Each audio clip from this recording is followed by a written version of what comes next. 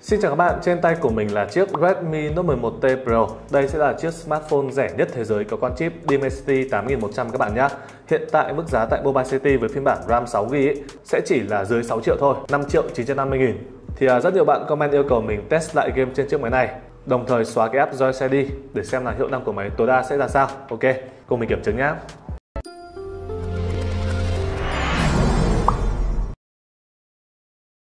Ok, với chiếc Redmi Note 11T Pro này thì à, cái app roi xe mình đã tắt nó đi rồi các bạn nhé Mình chỉ tắt thôi chứ không xóa hẳn để sau này khi mà mình cần bật lại ấy, thì mình có thể bật được chứ không phải khôi phục cài đặt gốc.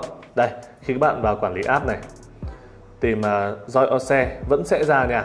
Nhưng mà các bạn để ý nhá. Bên cạnh của nó sẽ có một biểu tượng cấm như này. Đó, tức là chỉ tắt đi thôi chứ không xóa hẳn. Còn về cái phần uh, battery and performance thì mình vẫn giữ nha Tại vì nếu mà xóa cái này ấy, chúng ta sẽ không chỉnh được chế độ ở trong cái phần game turbo. Rồi, mình sẽ vào game turbo của máy này. Trong video ngày hôm nay mình sẽ test với hai tựa game nha PUBG cộng với cả Genshin. Và ở hai tựa game thì à, mình sẽ chỉnh lên mức high quality. Đó. Đây, mình sẽ vuốt từ trái màn hình sang này. Về mặt hiệu suất của máy Mình sẽ chỉnh lên chế độ là Performance nha. Ok luôn. Sorry các bạn nếu trong video này nó hơi ẩm tại vì à, hàng xóm chỗ bọn mình ngồi ấy lại bắt đầu khoan đục rồi. Về mặt đồ họa của game này, HDR không có Extreme nha các bạn. Tiếc nhỉ, phải hạ xuống mức Smooth thì mới có Extreme. Thôi, đành vậy, bật nhiều màu này, khử răng cưa 2X. Vậy thì để tăng độ khó cho game thì à, mình sẽ vừa quay màn hình cộng với cả vừa chơi nhá. Ừ. Setting của quay màn hình thì à, độ phân giải sẽ là Full HD cộng này. Video 16 megabit. Mình sẽ tắt cái phần fix the frame rate đi nhá. Tức là game lên được bao nhiêu fps thì à, video sẽ quay ở gần đó fps được chưa? Ok. Rồi mình sẽ bắt đầu bấm giờ này. Hiện tại thì máy còn là 52% pin. Mình sẽ chơi bằng kết nối wifi Máy không lắp sim. Độ sáng thì mình để khoảng 75% nha các bạn. Ok, mình sẽ bắt đầu quay phim màn hình nha. Rồi. Nếu mà chết sớm thì mong các bạn thông cảm nha Tại vì mình chơi PUBG cũng hơi gà. Vãi không ta? Úi dồi Úi dồi, hai bạn, hai bạn. Chạy, chạy, chạy, chạy. Sợ nhất là nhảy xuống không nhặt được súng đã chết. Đúng chất game nhảy dù. Nói chung chơi thì à, rất là mượt mà các bạn nhé. Smooth với cả 60 mà. Có quay phim màn hình nữa thì vẫn ok. Bên cạnh khoan ẩm quá không nghe được. Ui. Cay thực sự cái nhà bên cạnh. Ờ. À, mình sẽ thoát ra làm trận khác nhé có hay không? Súng cùi nha súng hơi cùi nha. Có tiếng súng có tiếng súng mình chưa có ngắm. Vậy đâu vậy đâu vậy? Rất cơ mình. Đồng đội các bạn linh tinh.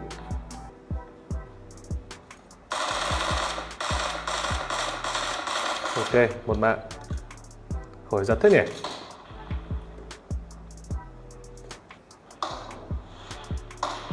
Ô, súng ngắm à?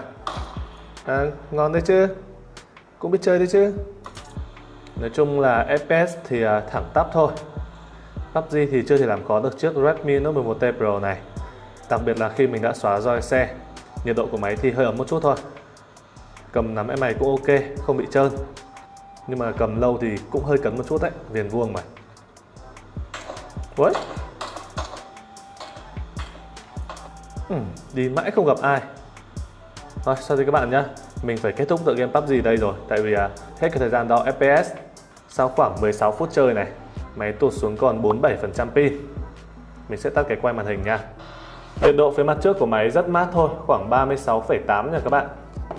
Phía mặt sau này Tầm à, 38 nhỉ hơn 38 một chút. Đây là bề đầu của trận đầu tiên này. Đoạn cuối là khi mình thoát ra ngoài thì à, nó sẽ bị lóc xuống nha không tính này. Trước đó thì gần như thẳng tắp thôi có một lần tụt xuống 45 trung bình các bạn sẽ được là 55,8 fps tính cả cái đoạn này nhá trận thứ hai thì à, đây. Đoạn đầu là khi để máy quá lâu thì à, game sẽ lóc xuống 50 fps để tiết kiệm pin.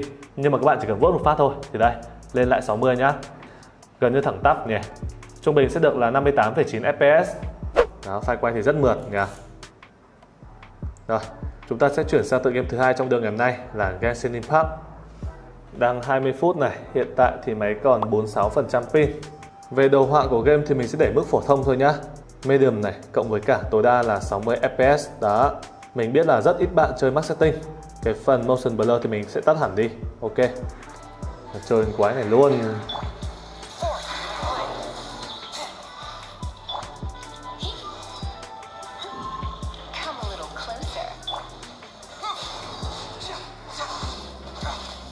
Ok, khá mượt nha các bạn 5x này 58 các thứ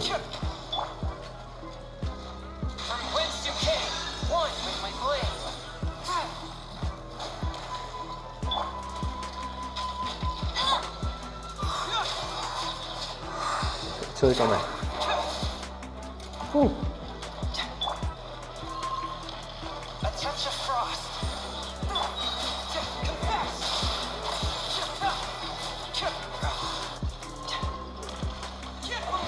rồi. Chết chết.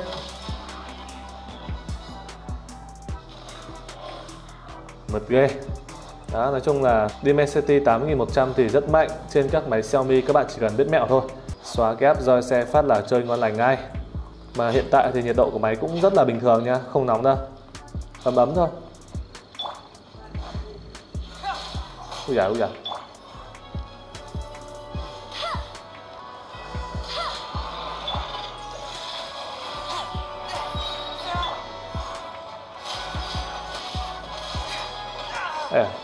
đâu chứ? Màn hình iPad LCD của em này thì à, cũng không quá tệ đâu. Chẳng qua là mình nhìn quen AMOLED rồi thì cảm thấy cái màn hình này nó hơi đục một chút các bạn nhé. Nó hơi bị mờ mờ sương sương ấy, Chứ nó không trong vắt. Đó. Này thì Chơi được tầm à, 9-10 phút này Thì à, nhiệt độ cũng đã nóng hơn trước khá khá rồi, Nhưng mà chưa quá khó chịu đâu các bạn nhé.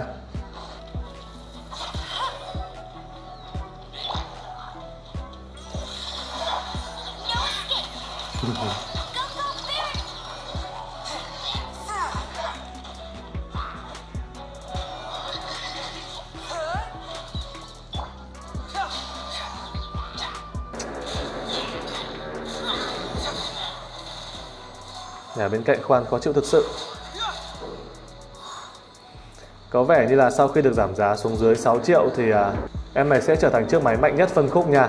Mạnh hơn cả chiếc Rumi GDNL 2T Đó. Với điều kiện là xóa roi xe. Ok, vậy là mình đã chơi tự game Genshin Impact được khoảng hơn 15 phút rồi nha các bạn. Máy tụt xuống còn 40% pin nha. Ok, nhiệt độ phía mặt trước của máy bây giờ khoảng 41,8 độ C. Nóng hơn trước rất nhiều rồi thế mà sao này, ui rồi 44, gần 44 độ các bạn nhá Tầm 43,9 Còn đây sẽ là biểu đồ FPS nha. Thi thoảng thì à, bị tụt xuống 4x này Nhưng mà ít thôi, 46 các thứ này 48 Khi chơi thì có nhận ra giật một tí nhưng mà không quá nhiều nha Tổng thể chơi rất là ok. Trung bình các bạn sẽ được là 58,2 FPS Ok, vừa xong thì mình đã chiến game khoảng 35 phút hơn trên chiếc Redmi Note 11T Pro. Đây sẽ là chiếc máy rẻ nhất có con chip Dimensity 8100 dưới 6 triệu nha và sau bài test ngày hôm nay thì với mình, đây sẽ là chiếc máy mạnh nhất tầm giá dưới 6 triệu nha. Vượt qua chiếc Realme GT Neo 2T. Đó. Nói chung là Dimensity 8100 thì rất là ok Được cái là nhiệt độ của máy rất mát nhỉ Khi đo thì cũng lên khoảng 43 44 độ C nhưng mà khung máy sẽ là nhựa các bạn nhá Nên là khi bị nóng lên ấy các bạn sẽ không cảm nhận quá rõ Đó, chơi rất là ok rồi, thì các bạn thấy sao về chiếc Redmi Note 11T Pro này? Hãy để lại comment phía bên dưới nhé. Link mua của em nó mức giá rẻ nhất, mình sẽ để dưới phần mô tả trong nào quan tâm. Giờ thì xin chào, bye bye.